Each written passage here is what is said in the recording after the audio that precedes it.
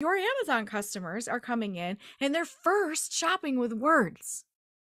They're shopping with words first. They're not shopping with just their eyes and, and now that's the second part, right? They're shopping with words first and then their eyes. They're looking at your images. So first you need to attract your clients, your customers, your people with words. What are your customers going to sit and type in when they think of your product? They want that product. What is the need they're meeting or problem they're solving? I'll give you an example.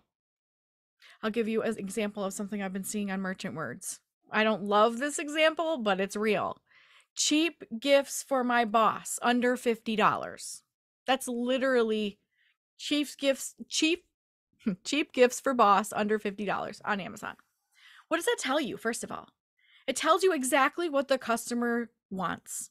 They're telling you with their keyword phrases exactly what they want. They want a cheap gift for their boss under $50.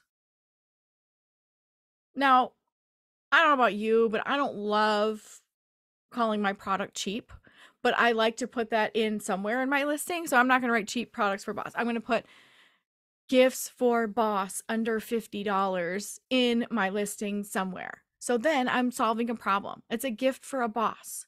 The second problem is it's under $50. $49.99 still counts, right?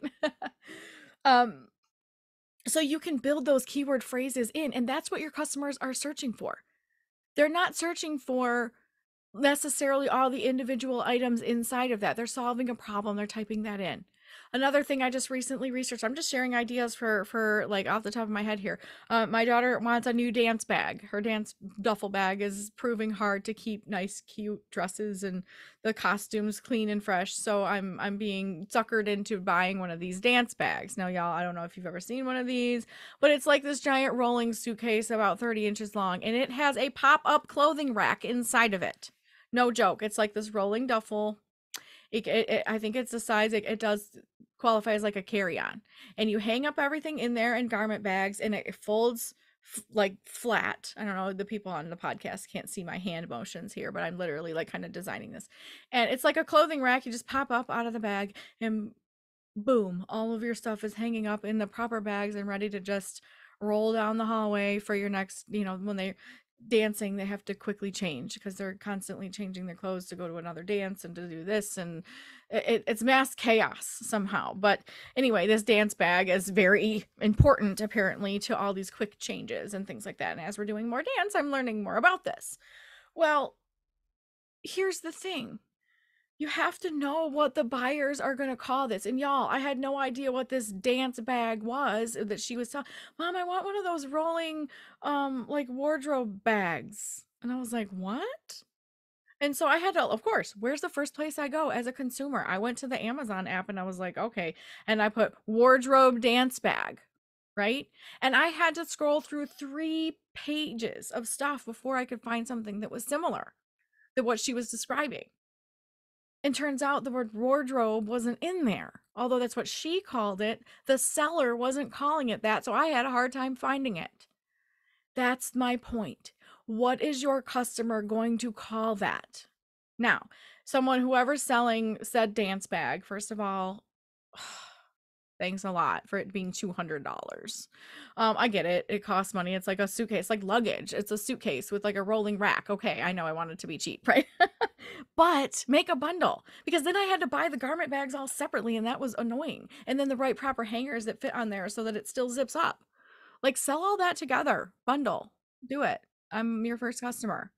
Um, and it's expensive and sell it in multiple colors because the pink and the the blue doesn't match their dance colors. I need red.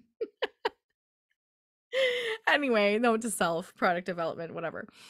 The reality is you have to type in what your customers are typing in to find your stuff. They're not just sexy seller words. Use the words your buyers or your buyers are going to call that a rolling um, you know, dance wardrobe pop-up clothing rack in a bag.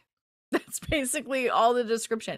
Use all the words your customer. I don't care about sexy words and vocabulary. Use the words your customer using. If they're using the word stuff, use the word stuff. I'm not kidding. I know it seems really like bad language or not proper, you know, grammar or things like that. Well, you know, you want to use stuff that the algorithm's going to pick up, but the word stuff is constantly on merchant words. You'll see it. It's like, uh, you know, stuff for my camper van, stuff for um, my school bag, stuff for lockers, middle school.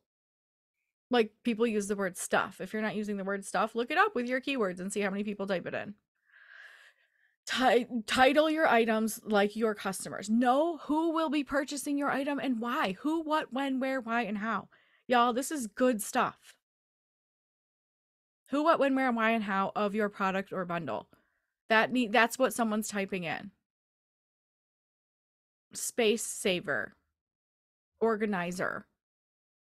Use the words your customers are using. And if you don't know them, use relatedwords.org. Use Google, use Pinterest, search everywhere else. You don't just have to be on Amazon. Use the word what do they call this in Europe? What do they call it in Mexico? What do they call what you're you're describing in other languages and other cultures?